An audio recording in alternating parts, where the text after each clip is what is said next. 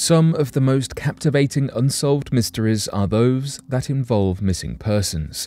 It seems almost unfathomable that an individual could simply go missing and never be seen or heard from again. In our unending search for answers, it's hard to comprehend that in some cases it's likely that no answers will ever be found, leaving us wondering what happened to those who appeared to simply vanish from the face of the earth.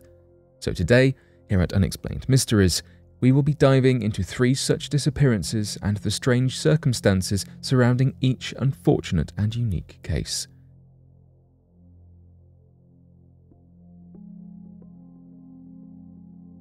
Kris Kremers and Lisanne Froon. Almost a decade ago, in April of 2014, two Dutch girls in their 20s, Lisanne Froon and Kris Kremers, went for a hike through the jungles of Panama and were never seen or heard from again. The girls were students who were staying with a host family in Panama for six weeks while they hiked, toured, and volunteered with the local children. They had been in the area for two weeks on the fateful day in question, when they decided to take their host family's dog on a walk into the Panama jungles around 11 in the morning. However, once night fell, the dog returned to the family with no sign of the girls, and the host family began to worry. The local authorities conducted an aerial search of the dense forests, while volunteers searched the surrounding village and area on foot. But by the time both of the girls' parents arrived from the Netherlands five days later, there was still no sign of them.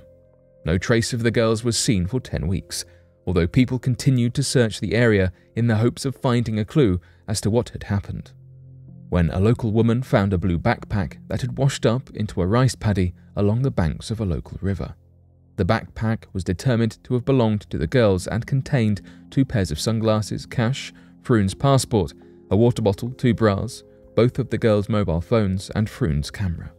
Authorities were excited at the prospect of investigating the camera and phones for possible clues, but ultimately these pieces of evidence only created more disturbing questions as to the fate of the girls. The phones had been working for 10 days after the girls initially went missing, and logs showed that they had made almost 80 attempts to call the emergency number. Although none of these calls had been able to connect due to the dense jungle, the police were able to use the logs to paint a rough picture of where the girls had been during these 10 days. The first two calls occurred only hours after the girls began their hike, and after four days, Kremers' phone was locked due to too many unsuccessful attempts to unlock it and it never received the correct PIN before both phones ran out of charge on April 11th. What was even more concerning were the photos found on the camera.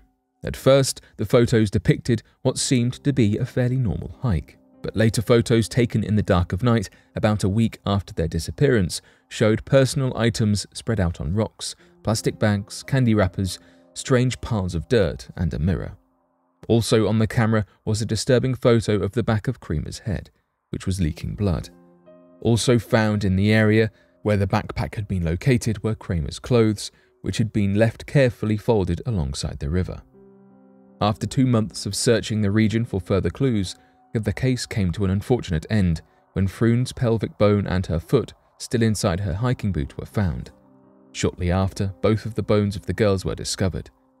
Froon's appeared to have decomposed naturally, but Kremers were stripped and bleached pointing to possible foul play. However, no further clues were ever discovered.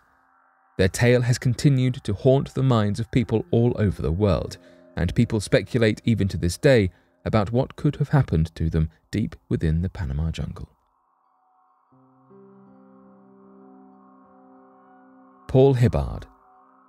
Unfortunately, some mysterious disappearances are never solved and the families and friends of the victims are left without any closure, wondering what may have happened to their loved one. Paul Hibbard was a geologist who worked for Burge Exploration in Colorado. He was a very valuable employee for the company due to his specialized geological knowledge and a geological van that he was able to use to locate deposits of minerals such as uranium, coal, oil shale, and other valuable deposits that can be found in the mining regions of Colorado. Shortly before his disappearance, Hibbard received a call from someone who claimed to work for Burge Exploration, telling him to bring his geological truck to the Gillette, Wyoming area. Suspecting that the call was fraudulent, he checked with his boss, who confirmed that nobody who worked for the company in that area needed his van. Approximately a week later, on May 28, 1976, Hibbard was performing a routine geological exploration in the same area of Gillette when he disappeared along with his geological truck. The truck contained over $30,000 in radioactive material, and Hibbard's boss suspected that this fact, when combined with Hibbard's specialized geological knowledge, might have been cause for someone running an illegal geological exploration company to kidnap him.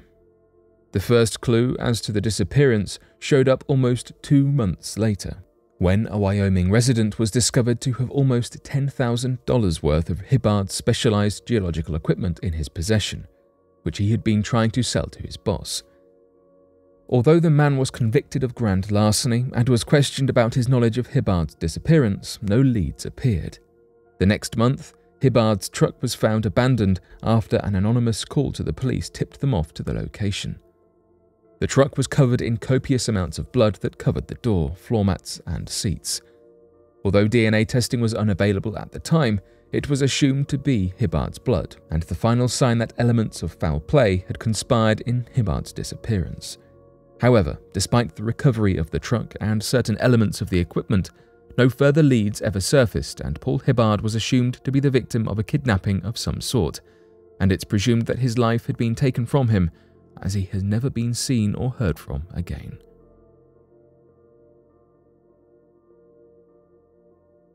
Ebrahim Puldar Ebrahim Puldar was a 59 year old man who went missing from the Los Angeles, California region on July 28, 2016. This date was the last time that anyone reported having seen him, although it was not until his disappearance was reported by his brother on August 6th that he was officially considered to be a missing person. On August 11th, almost two weeks after Puldar was last seen, the grey Honda Civic, which he had been borrowing from a friend at the time, was found in Carlsbad California, which is adjacent to the San Diego area. Police records indicated that the car had been there since at least the 30th of July, and this was the only clue that investigators had as to the disappearance of Puldar, although it raised more questions than it answered. For starters, Carlsbad is an almost two hour drive from Los Angeles, where Puldar lived and was last seen. Friends and family were unable to come up with a reason why Puldar would drive to the region, making the appearance of his car even more mysterious. A week after the discovery of the car, Puldar's wallet, keys, and pants were found near the region that the car was discovered, stashed in some bush near the Buena Vista Lagoon. Although there was a chance that someone had stolen the car, driven it to Carlsbad, and then abandoned it, the fact that Puldar's belongings were also in the region seemed to point to the probability that he also had been in the region at some point. However, authorities had no idea whether the abandoned clothes indicated that he had arrived in Carlsbad of his own volition or had been kidnapped. His family claimed that he had no known medical conditions that might result in such an abrupt departure, but that he did like to drink alcohol and partake in gambling. Despite this, authorities were unable to ascertain whether he had outstanding gambling debts or other related issues that might have brought him to the region, or whether these facts even had any bearing on the case at all. The region was thoroughly searched by tracking dogs experienced in both search and recovery, as well as the discovery of human remains, but nothing was ever found. Due to the strangeness of the disappearance and the resulting discoveries, Ebrahim Puldar is considered by authorities to be missing under suspicious circumstances and endangered, although many people have presumed that based off the discovery of his clothes and wallet that he was kidnapped, harmed himself, or met an untimely demise. Ebrahim Puldar has not been seen or heard from in over six years.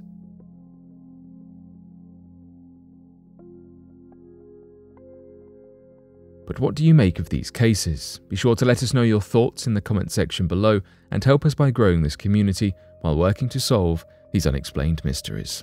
Thank you for watching and don't forget to subscribe for more videos.